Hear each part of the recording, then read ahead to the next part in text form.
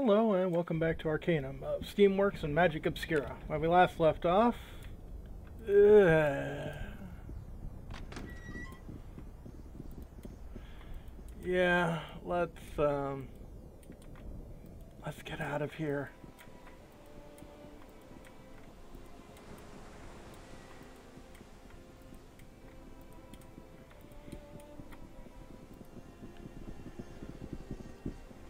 Ready to return to Caledon, miss?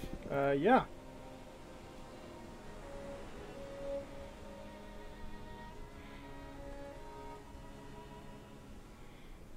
Ah, in this version they just send you back, but I guess in vanilla version, um, you would have had to pay to return.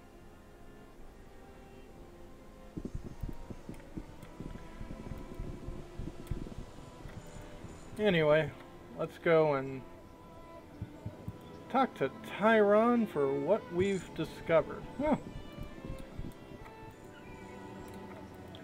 And we got a um, fate point, probably for discovering that book.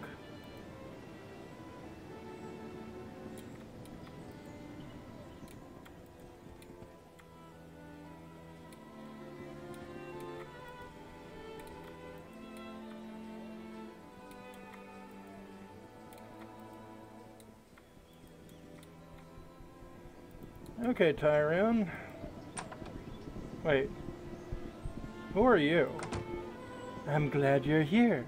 You were working with Tyron, were you not? Who are you? Where's Tyron? I don't know. I was meant to meet him here. You were to exchange information. Really? And what information would that be? Information that's dangerous to possess. I've been on the same search as Tyron and his colleagues. I believe it's gone much deeper. What have you discovered? I should be asking you that.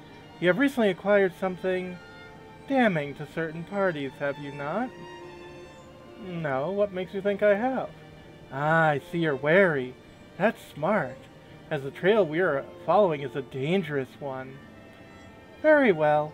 I will share with you the information I've gathered, and you can decide for yourself whether you can believe me or not. I'm not certain how much of it I believe myself, but this is what I found out. I'm listening. About 50, 55 years ago, a group of gnomes from various parts of Arcanum began to acquire large amounts of money from investments in the new technology. As their wealth and perceived influence began to grow, age-old prejudices began to surface. Gnomes were thought to be miserly thieves. The other races did not trust them to gain power. Go on. There were thefts, beatings, and threats. Mysterious letters at night warning little gnomes to keep to their place. The gnomes tried human bodyguards, to no available. Any human would, that would be a bodyguard to a gnome at that time was, by definition, an untrustworthy, shiftless sort.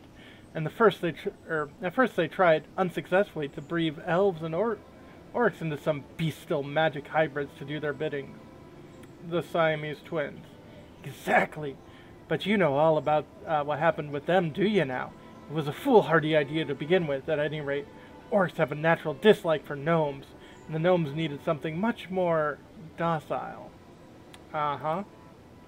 Next obvious choice seemed to be the half-ogres, tired of being hunted for, uh, and the promise of large amounts of food gained for, uh, or gained the gnomes extremely loyal bodyguards. But there was a problem. A half-ogre was a very rare thing in those days, there was good scientific reason for being so, and the gnomes were without bodyguards uh, were used as leverage against those protected. Continue. The greatest concentration of these gnomes were in Tarant, which was still a monarchy at the time. They pleaded with the king for his help, but the last thing the king wanted was a group of rich banker gnomes with power in his kingdom. The beatings continued, and the king and his court turned a blind eye to their plight. That's when, well, we'll call him Mr. X, decided to act. Mr. X. Yes, he hired a prostitute to go home with him one evening, and he locked her in his basement, where he also been to keeping a full-blooded ogre. You can imagine what happened then. She died giving birth, as to be expected, but Mr. X now had his future bodyguard. He recruited some other gnomes, and the kidnappings began in earnest. What happened then? For safety's sake, they set up a breeding laboratory on the island you visited. The plan wasn't working out as well as they hoped, as the women all died giving birth, and the more prostitutes that disappeared, the more the authorities were looking into their affairs. They decided to try surgical means of delivery, but the women were too sickly to survive that. Go on. That's when the king's hirelings discovered, what was happening. Unfortunately for the king, though, the gnomes had become incredibly rich in this time. Rich enough, in fact, to purchase the king's murder and the kidnapping of the queen and her young son. Rumors began circulating immediately, pointing to the queen as the killer of her husband. The queen was brought to the island, wasn't she? Yes. She was the patient in the first successful operation. She mo mothered three before she passed, I believe. Soon after the uh, Industrial Council gained power in Tarant, the disappearance of prostitutes began to slow down. But a mysterious rash of disappearance for the wives and daughters of the political enemies of the council began. That is horrible. They not only lasted for a short time, however, they now bred enough half-ogre females to no longer need to rely on human breeders. Kept hundreds of them now, kept in cages in a breeding farm somewhere. Keep this whole thing in a cloud of mystery by releasing half-truths, lies, and even real information through unstable individuals like Tyron so no one believes any of it. Exactly! And everyone who believes to be, or it to be the imaginations of madmen and paranoids. Is this all true? That's a good question. We must not be too anxious to believe uh, it because we want it to be true, or too anxious to disbelieve it because we want it to be false. We must remain neutral in our decision as to whether it is true or not. That's absurd. It's either true or it isn't.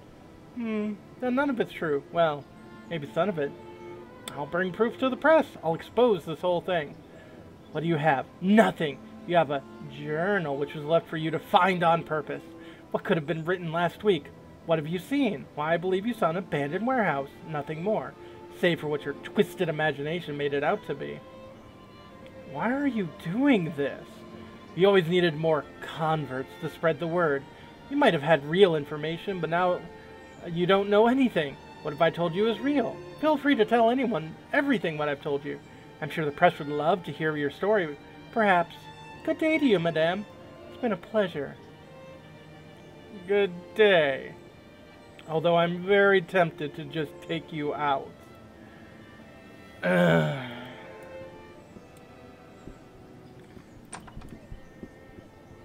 That's it.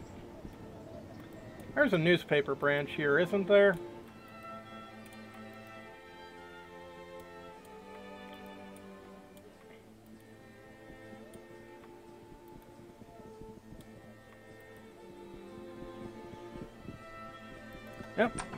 Tarantian editorial office. Hmm, yes, how are you? And who might you be, sir? I'm Sam Longwell, and this is the Caledon branch of Tarantian. Um, I have evidence of a conspiracy you might be interested in. What do you mean, conspiracy? Is this some kind of jest? The Industrial Council has been illegally breeding half-ogres. I'd say I was interested in the story, but I would need proof. It's all right here. By the gods, this is astounding. I can make my reputation with a story like this. You leave this with me, I'll print it in its entirety. Be the story of the century. Um, okay, here it is. I cannot believe this. This is what I've been waiting for. I'll write this up to get into tomorrow's newspaper. I'll be going now. Tomorrow's paper, eh?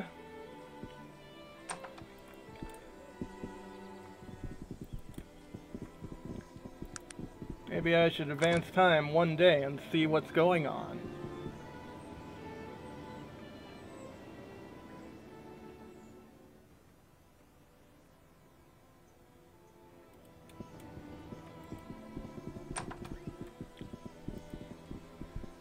How's the story shaping up? I'm still working on it. Should be in the papers by tomorrow, as I said. Good day.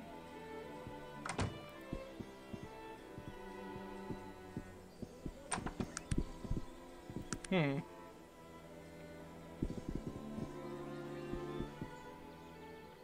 Ziz, ziz.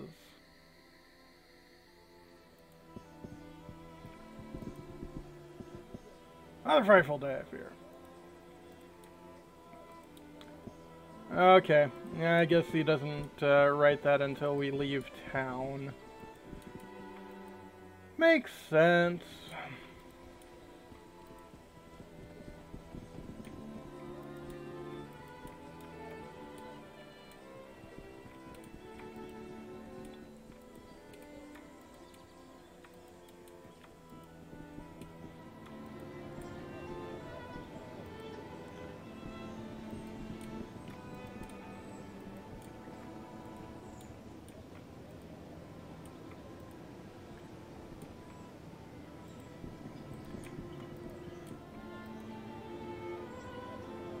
But aside from the main quest and the um, Ancient Gods quest, this is definitely one of the uh, longer, more elaborate uh, quest lines in the game.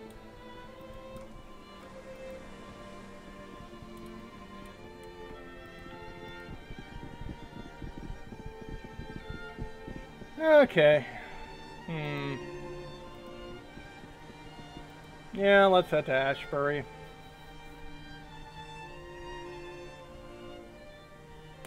Why Ashbury? Well, it's close to the um, wasteland.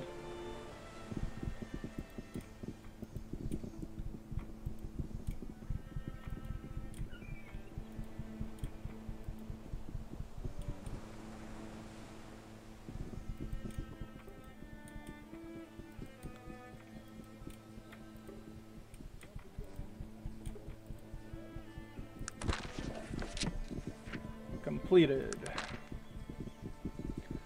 Oh yeah. You know, we got those. And we've got free booking. We might as well um,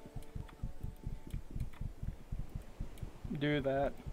Um, if we asked for money from uh, Sam Longwell, he'd just give us a hundred gold, which um, I, I don't care at that point.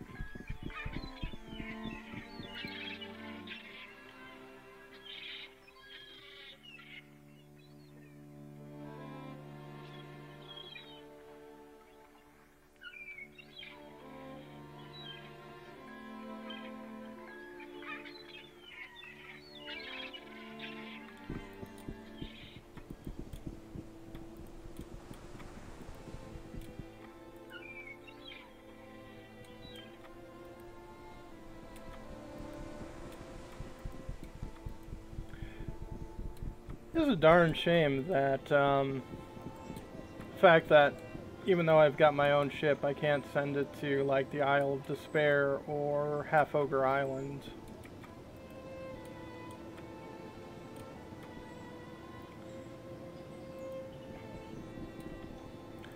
Let's see, the person that wanted these was the phrenologist over in Tarant, or, uh, University.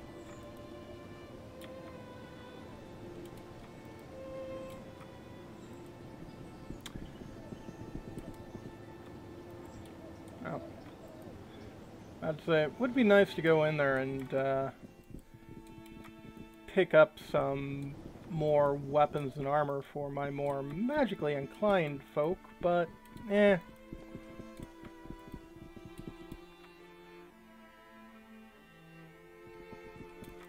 Which actually is most of my party.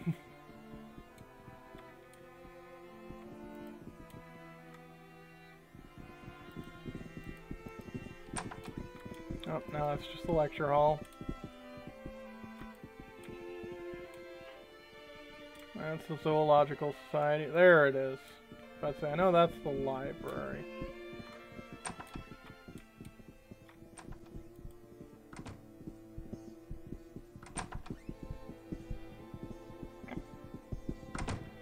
Famed Demon Killer returns. Uh, nope. Are you... Yeah, you're Gershwin.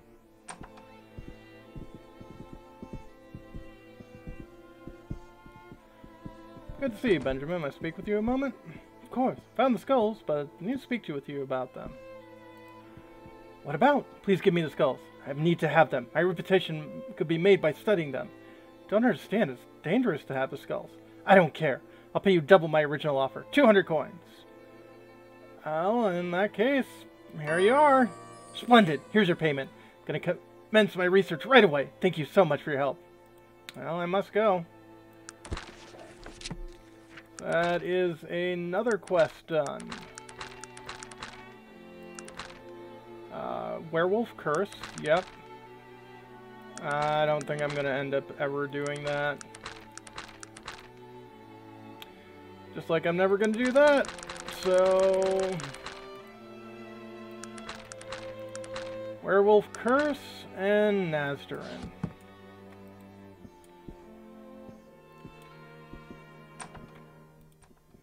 And like I said, probably go to Ashbury. Um, and then from there to the Vendigroth Wastes.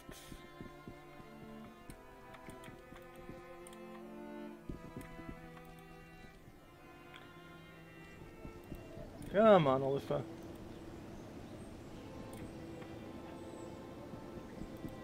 All that gave me a bit more experience, at least.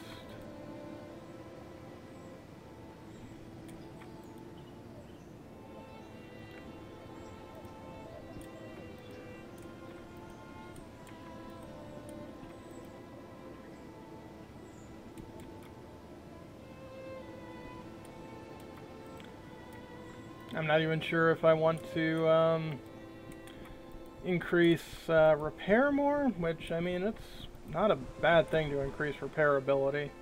Um, or increase my dexterity and my dodging, which uh, would be nice to have more things like action points and, uh, you know, ability to not get hit.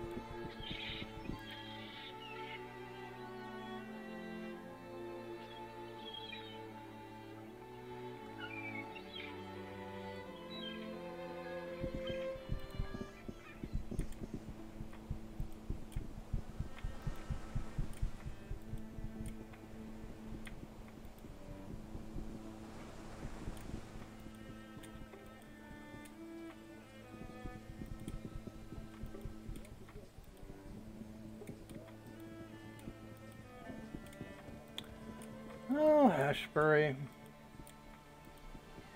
Yeah, the love lights. The dog.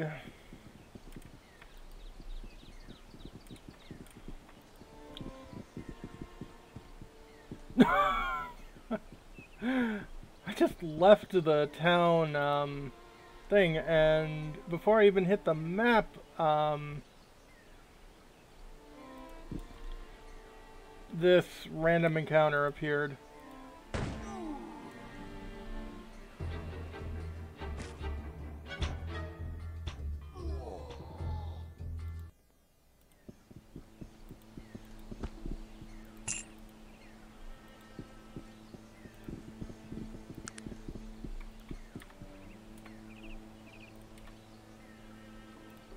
Gateway to the Waste.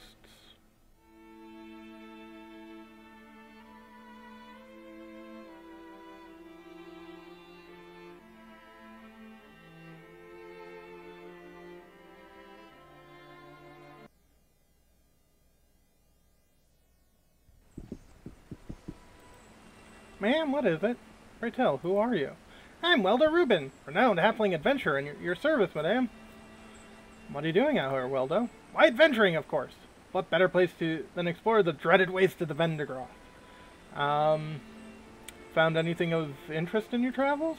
Why, yes, I found a very interesting device in the foray near here. Found this in some old ruins in the waste. Really? Yes, the ruins were made of a metal of a sort that I've never encountered before. There all manner of junk around and inside them. And I found this device while rummaging through it. I see. Some nasty lizards live underneath. Probably they swarmed out at the noise that had to retreat away. Sounds bad. You have to expect danger in my line of work. Perhaps you'll answer me a few more questions. What do you wish to know? Tell me more about your adventures. How do I speak about my adventures. What can I share with you? Seen any cities in the waste? Well, it's pretty empty out there, and I haven't been exploring all that long, but I found this one city way out in the waste surrounded by shifting sands. No ways lead lead into or out of the place. Please continue. No obvious entrance, uh, so I climbed the surrounding wall. From that vantage point, I could see the whole place. Anyone live there? Yeah, there was lots of people inside. Lots of different races. Everyone was wearing robes and acting very polite and all. Did you go inside? Yeah, I climbed ba back down and left. Bigger folk have their own ways, and I wouldn't be disturbing them. Could you please show me where this is on my map? I'll mark it on a map if you bring me a part of the device I showed you. I think it needs a metal sprocket that fell off in, near the wreckage. Would you do this for me? Um, I'll do it. Where can I find these ruins? Great! Here's the location of the ruins. Return uh, with the part that you found. Farewell. Mysterious Ruins of the Waste. But that'll be for next time. When we come back, Vendigroth. Have a good one, folks.